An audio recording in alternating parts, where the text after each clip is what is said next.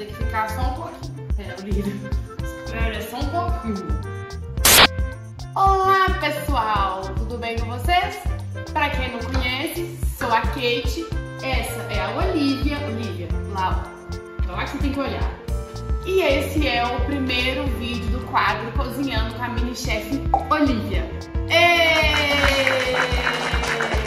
Para estrear o quadro, nós vamos fazer um petisquinho bom para cachorro. Vocês vão adorar, é super fácil.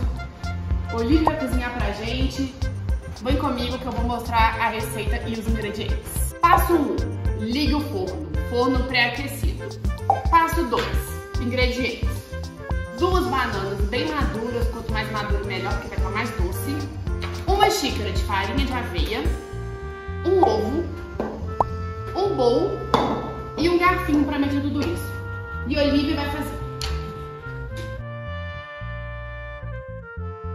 Descasque as bananas.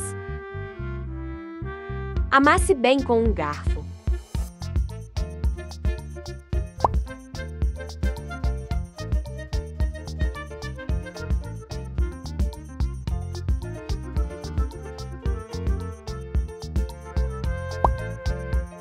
Adicione o ovo. Adicione a aveia. Mistura. Mistura a mistura. Depois de incorporar os ingredientes, faça bolinhas com as mãos. Mostre ao seu pé para a conferência. De qualidade. Enrola. Enrola, enrola.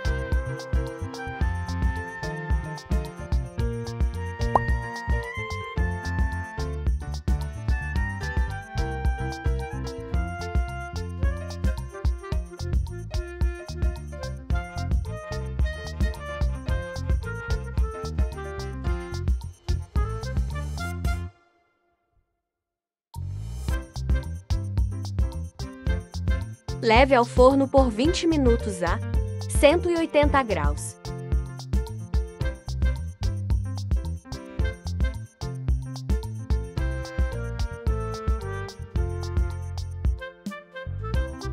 Dê a recompensa ao seu pé. Olha que lindos!